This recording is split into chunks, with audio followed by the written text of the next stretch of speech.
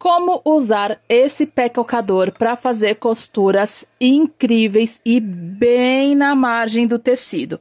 Qual é o nome desse pé calcador? Como usar na sua máquina e como fazer uma costura dessa de 4 milímetros, basicamente.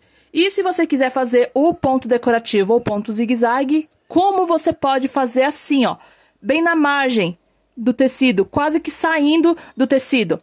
Tudo isso você vai aprender no vídeo de hoje e na sua máquina doméstica. É só continuar assistindo ao vídeo.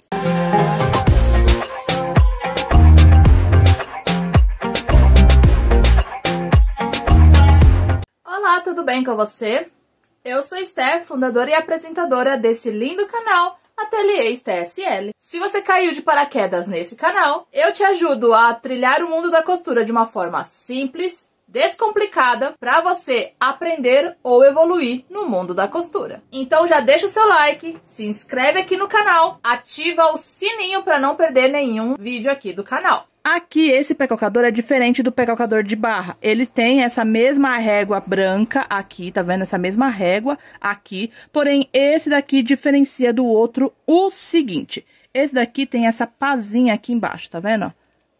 Ó, Tá vendo que tem um relevo aqui? Então, você vai colocar o tecido entre essa parte e o pé calcador. Então, você vai colocar o tecido por aqui e passa por debaixo do pé calcador. Conseguiu entender?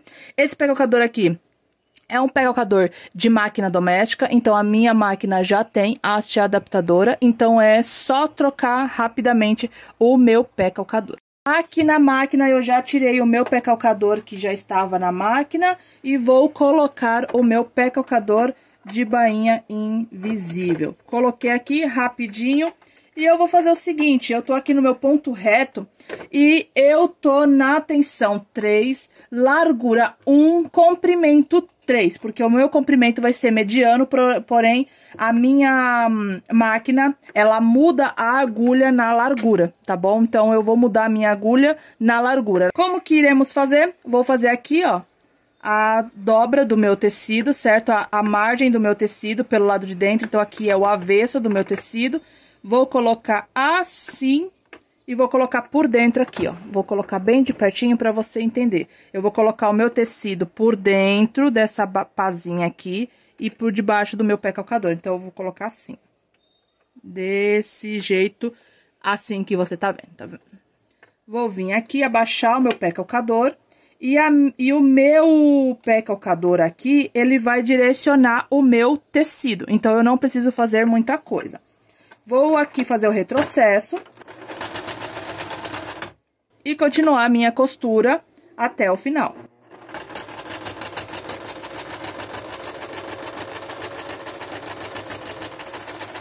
Você que é iniciante na costura e quer passar para o próximo nível, aprender um braço da costura novo, com linguagem simples e que cabe no seu bolso. Hoje eu tenho um convite especial para você.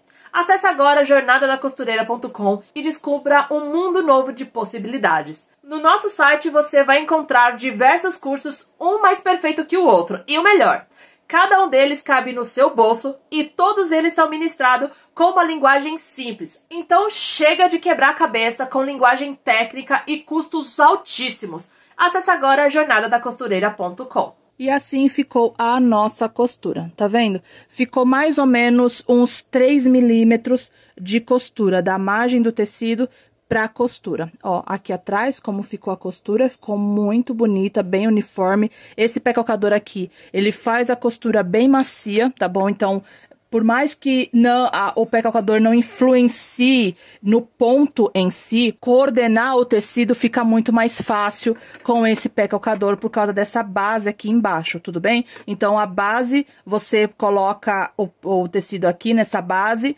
tem a régua de coordenação aqui, a máquina já vai estar bem regulada e os dentes da máquina já vai puxando o tecido enquanto a máquina faz o seu trabalho. Então, esse ponto aqui ficou muito perfeito, ó. Realmente é um ponto que vai fazer a diferença aí na sua vida quando você for fazer uma costura mais estreita. Aqui a gente fez uma bainha bem estreita, né? Uma barra bem estreita.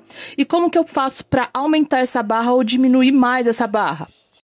É muito simples, é só eu vir aqui e aumentar ou diminuir aqui a minha régua. Então, aqui eu tenho o rolamento da, do meu pé calcador, que permite eu colocar essa régua mais para frente ou mais para trás. E assim eu vou fazer a minha barra mais para frente ou mais para trás. Conseguiu entender? Então, esse pé calcador aqui te auxilia muito. E se você quiser fazer o ponto decorativo, zigue-zague, ou outro ponto que permite a agulha ir de um lado para o outro, você pode fazer com esse pé calcador? Então, vamos testar isso também. Vou colocar aqui o meu pé calcador. Preparar minha máquina direitinho. Eu vou aumentar aqui a largura pro 3 e vou colocar o ponto zigue-zague. Eu vou cortar aqui um pouco o meu tecido e vou fazer o ponto zigue-zague da mesma forma que eu fiz o ponto reto, eu vou fazer o ponto zigue-zague. Então, eu vou colocar aqui fazer uma margem, colocar aqui debaixo do meu pé calcador, abaixar o meu pé calcador e vou fazer o ponto zigue-zague. E assim fica o ponto zigue-zague. Olha esse ponto como fica bem perto da margem, tá vendo?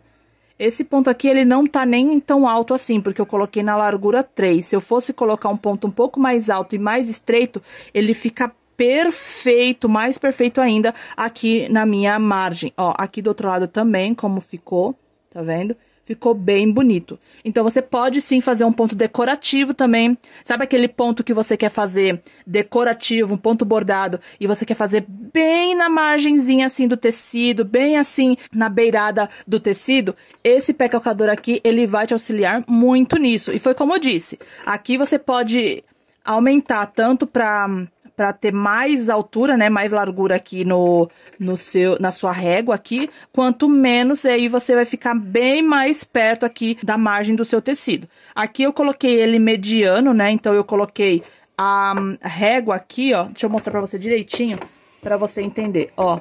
Aqui eu coloquei a régua rente com a agulha. Então, ficou assim, tá vendo? Coloquei ela bem rente com a agulha e a minha largura ficou no 3. Se eu mudar aqui pra largura menor, ó, a minha agulha ela já vai ficando mais pra lá, ó. Tá vendo, ó? Ó, no zero a minha largura fica bem mais pra lá. E aí o meu ponto vai sair com a largura bem menor, tá bom? Então é questão de teste mesmo, você testar esse pecocador aí na sua máquina para você fazer costuras incríveis como essa daqui. Agora eu quero que você deixe aqui nos comentários qual a parte desse vídeo que você mais gostou. E se você ficou com alguma dúvida também, agora é a hora de comentar. Deixa muito like se você gostou desse vídeo e se você gostou mesmo desse vídeo, compartilhe em todas as suas redes sociais. E me marca, viu? Deixa muito like, se inscreve no canal. Aqui ao lado tem duas indicações que eu tenho certeza que você vai amar e vai te ajudar muito no seu trilhar da costura. Se você ainda não é inscrito, se inscreve aqui, ó.